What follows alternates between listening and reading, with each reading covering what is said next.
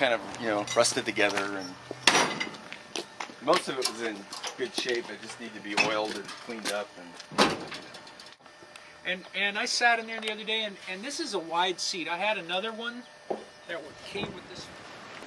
Originally, initially, this model was originally built in 1890s, but um, this one was probably made in the 20s. Uh, they made them up into the 30s, and then of course tractor stuff took over. But um, a lot of the mechanisms you see on modern farm equipment are exactly the same as they were on the horse-drawn equipment. There isn't a whole lot of new uh, machinery out there. Uh, these pictures are 1895, but I think they made this into the 30s. oh, okay. So um, I'm thinking that this is a later model. Oh, okay.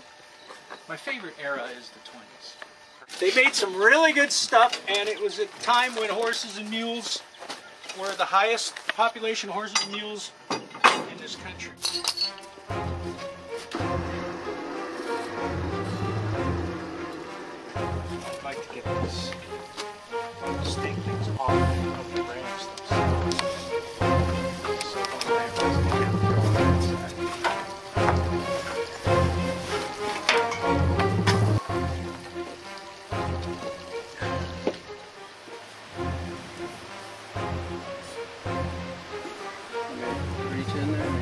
If you can.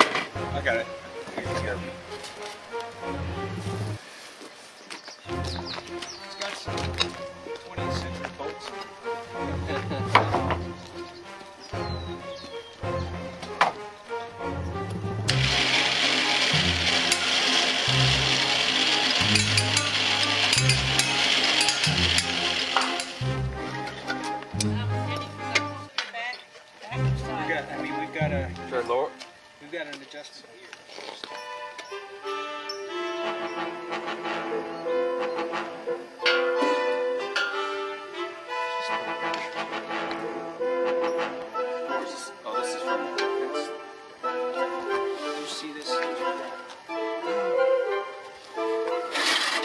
The rocks out of there. Look at that thing. I, I don't know if I noticed it before or, or not. I think I noticed it. I noticed this this morning. The sun was shining on it. I went, oh no.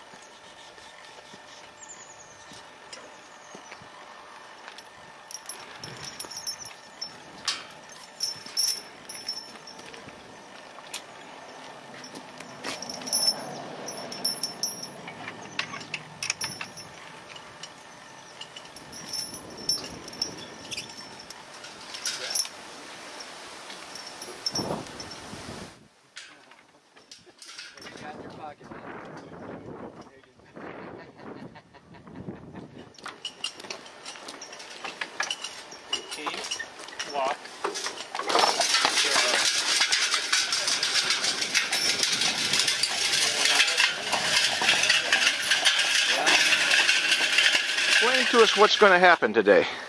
Well, we're hopefully we're going to plant some potatoes with this um, team of horses and this machine that was uh, designed in the late 1800s and uh, built through uh, the 30s. So um, see how how well they built it. Should we go ahead It's a, over it's a potato planting machine made by.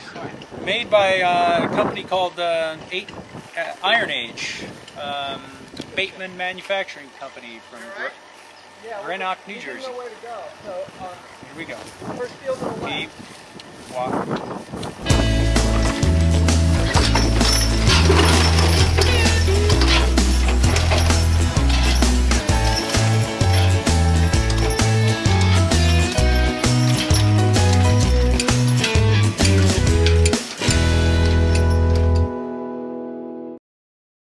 Got any bad ones, make sure that they're the right size to fit in the planter.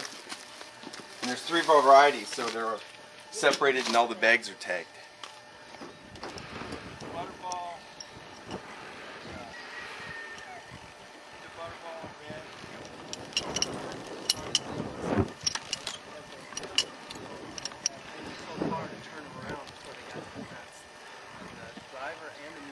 Start with potatoes. You're going to do a test row or what?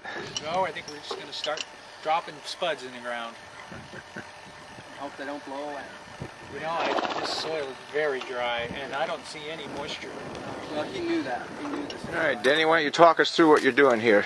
I'm gonna load this hopper with uh, seed potatoes, German butterball. This is the first time you've ever done this. Yeah. You ever tried planting them by hand? Oh yeah. Did they come? tires. Come in tires. Stack tires up. Oh yeah.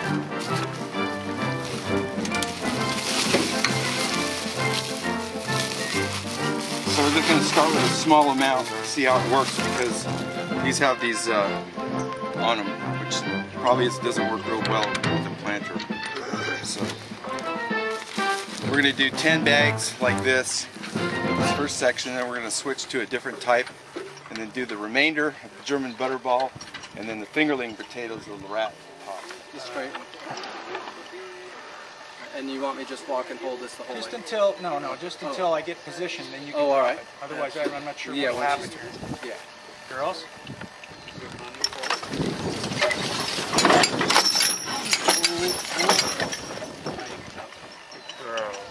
Hey Stu, can you keep the dust down, please? It's your wife's job.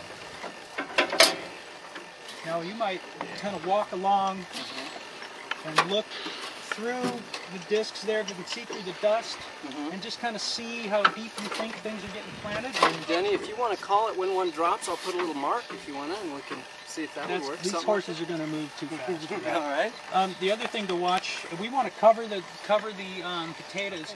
Throwing soil, those covering discs, or finish throwing soil over. We want to have it less level. Maybe the slight hump, but we don't want a big mound of dirt. So that's where we're going to make adjustments in. Okay. Well, why don't we do a try a few and let's see where it goes. Denny, why don't you set some in there so they drop, and I'll try and watch one. You know what I mean? Yeah. Throw some throw some in your uh,